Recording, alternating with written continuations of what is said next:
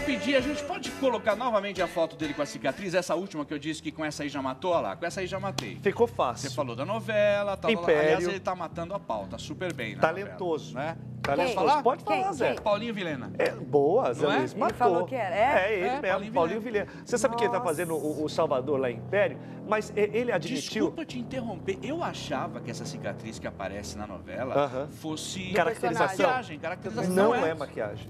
Não, a- aliás, houve um estudo dele com, com o pessoal da caracterização da Globo. Acharam, inclusive, que essa, essa cicatriz era, era legal ter, mas você sabe que isso é resultado de um implante que não deu muito certo. O Paulinho Vilhena tem problema de calvície, sim. Assumiu. Falou que esse problema ele não tem. Agora, na época da faculdade, que o pessoal queria fazer aquele trote, raspar a cabeça do Paulinho Os Vilhena, amigos. ele saiu ileso.